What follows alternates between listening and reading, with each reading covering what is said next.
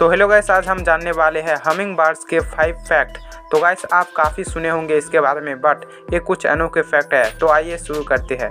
हालाँकि humming birds ज़्यादातर अपने छोटे आकार और उड़ने की क्षमता के लिए जाने जाते हैं।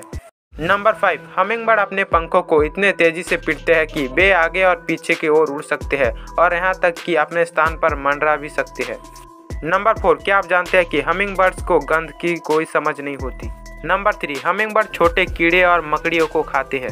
नंबर टू एक औसत हमिंग बर्ड की हृदय की गति प्रति मिनट में 1200 बीट से अधिक होती है। नंबर वन दुनिया में 325 से अधिक अनोखे हमिंग बर्ड की प्रजातियाँ हैं।